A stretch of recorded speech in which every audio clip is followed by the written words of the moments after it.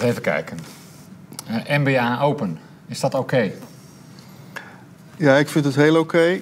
Uh, omdat we eigenlijk tegen onze leden zeggen van... Goh, uh, we, hebben, we realiseren ons dat we misschien wat weinig aandacht aan je besteed hebben de afgelopen jaren.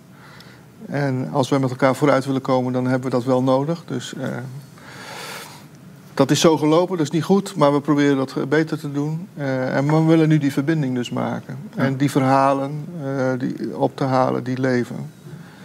En in onze bestaande structuren, hè, we hebben natuurlijk die afdelingsvergaderingen. en daar merk ik ook altijd als je met de leden daar praat, dat de sfeer en de cultuur die daar op zo'n avond is, of dat nou in Zuid-Holland is of in Drenthe, dat maakt niet zoveel uit. Het, het leidt ook, of het is altijd heel anders dan, voor mijn gevoel althans, dan waar wij hier zeg maar, elke dag mee bezig zijn. Ja. Dus eh, ik denk dat het heel goed is en ik hoop dat het een ongelooflijk succes wordt. En we hebben natuurlijk ook in de ALV in december vorig jaar gezegd van ja, we, we gaan het, hè, die nieuwe structuur, die veel meer over cultuur gaat dan over het harkje uh, met de leden doen. Dus ik hoop heel erg dat dat ook ja. slaagt. Ja, en wat je ook al aangeeft, het gaat, ook, het gaat niet altijd over de inhoud, hè, maar het gaat juist ook om de andere dingen die ons bindt. Ja, waardoor we er voor elkaar kunnen zijn. Hè, in plaats van heel sterk, en dat is het ook wat we als MBA gedaan hebben, heel sterk inhoudelijk elkaar ontmoeten. Ja. En minder op, op andere thema's. Nou, dat is ook waar. En je merkt ook dat zeker eh, accountants uh, of de angst hebben van ja, iemand kan zomaar een terugklacht over me indienen. En wat doet dat dan met je als, ja. als mens?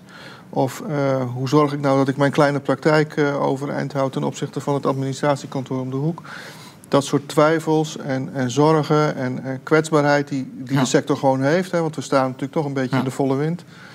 Ja, hoe we daar elkaar uh, kunnen helpen en mensen bij elkaar kunnen brengen om ervaringen te delen, bijvoorbeeld.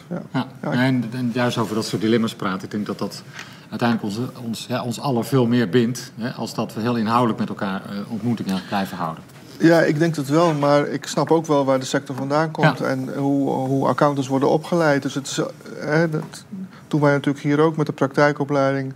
Het is allemaal heel stevig en heel degelijk en heel inhoudelijk. En dat is dus de kracht. Ja. Maar het is meteen ook de kwetsbaarheid die de sector ja. uh, heeft volgens mij.